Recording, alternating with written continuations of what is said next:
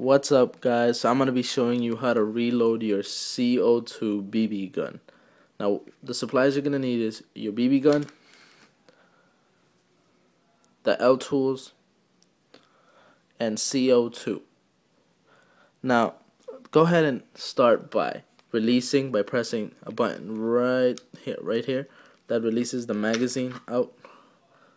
Go ahead and press that. Now as you can see in the back of the magazine there is a little hole right there. That's where you put the L tool. Make sure you find the right one. Go ahead and insert it right in there. And unscrew it. Now I ain't gonna unscrew mine because mine does have CO2 and if you do unscrew it, it releases all the CO2 out. So unscrew that right about there. Unscrew it out.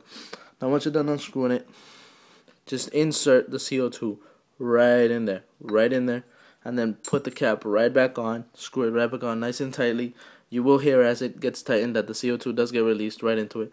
Now just go ahead and put it right back into your BB gun. And it should be ready to go.